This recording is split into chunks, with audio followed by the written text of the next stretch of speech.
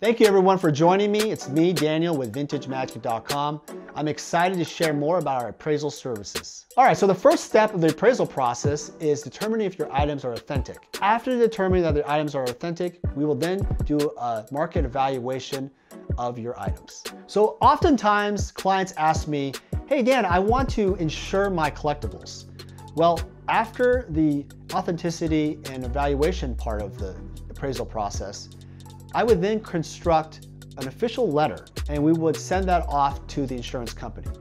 Your insurance provider would then offer you insurance based on the valuations and authenticity. We also offer pre-grading services. So collectors who are looking to save money on grading um, can go through us. We will actually grade and authenticate the cards before you send it off to grading, and that will save you potentially thousands of dollars on grading fees.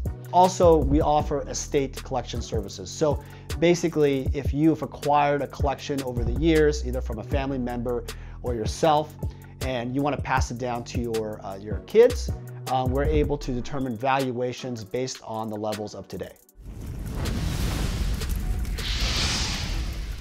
Vintage Magic. Game, collect, invest. For more information about our consulting and professional services, visit vintagemagic.com.